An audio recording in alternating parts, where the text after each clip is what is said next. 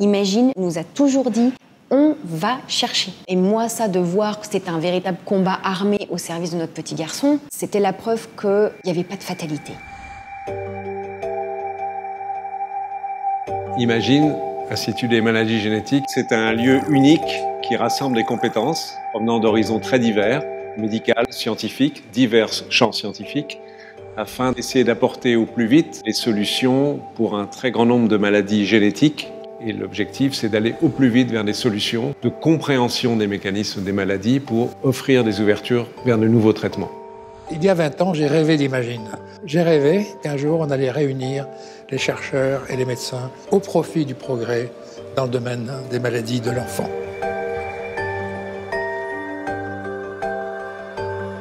Ici, à Imagine, l'enfant, le patient est au centre du dispositif. C'est le centre de gravité d'un triangle. L'enfant est au milieu et le triangle, c'est les trois autres partenaires, la famille, le grand médecin, le grand chercheur. L'avantage à travailler comme ça de façon très imbriquée avec les médecins et les chercheurs, c'est qu'on peut à la fois faire de la recherche très fondamentale sur des mécanismes génétiques et de pouvoir aussi euh, glisser vers de la recherche clinique qui va apporter plus euh, de bénéfices aux patients.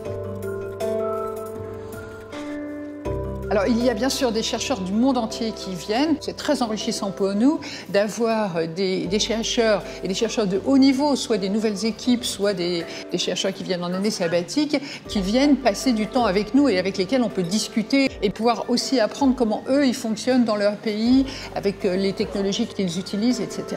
L'Institut Imagine représente 850 médecins, chercheurs, équipes répartis en 25 laboratoires de recherche. L'originalité de l'Institut Imagine est de trouver au même endroit des chercheurs, des scientifiques, des médecins, des paramédicaux pour aller plus vite vers les traitements, pour aller plus vite vers les nouveautés diagnostiques et pour innover dans le champ des maladies génétiques. Arrivent chaque année 30 à 32 000 enfants, deux tiers d'entre eux à leur arrivée dans Imagine, n'ont même pas de diagnostic. Chaque enfant a une maladie différente. Chaque enfant a une anomalie d'un gène différent. Qu'est-ce qu'il a, mon enfant? Cette nomination, c'est la première étape de notre action pour ces enfants, dire de quoi ils souffrent.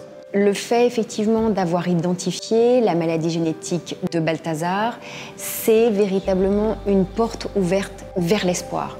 Chaque jour est un sujet de découverte. Le défi, c'est de réduire les délais entre la découverte et ses applications. La particularité d'Imagine est d'être un alliage entre recherche et médecine. Et c'est aussi un alliage entre une vie institutionnelle et une vie industrielle des partenaires qui vont nourrir Imagine, donner des mécènes, des philanthropes, mais peut-être aussi investir dans Imagine et les perspectives thérapeutiques que nous portons. On réfléchit ensemble, chacun apportant nos compétences des médecins, des chercheurs, des informaticiens, des spécialistes de l'innovation thérapeutique pour trouver le plus rapidement possible, le mieux possible, les idées qui vont faire avancer les connaissances et donc faire progresser la médecine. Balthazar, ce qui est assez rigolo, c'est qu'un jour, quand je lui ai dit qu'on allait euh, voir le professeur Munich, je, lui parle en langue des signes, il m'a pris des petits Legos pour me caractériser ici. Et il a mis des petits bonhommes à suivre. C'est-à-dire qu'il voit tous ces petits bonhommes et ces petites bonnes femmes qui travaillent ensemble, qui, parlent entre eux, ce qui montre bien que quand les forces s'unissent, qu'il y a de la cohésion, qu'il y a de l'unité, ben ça fonctionne.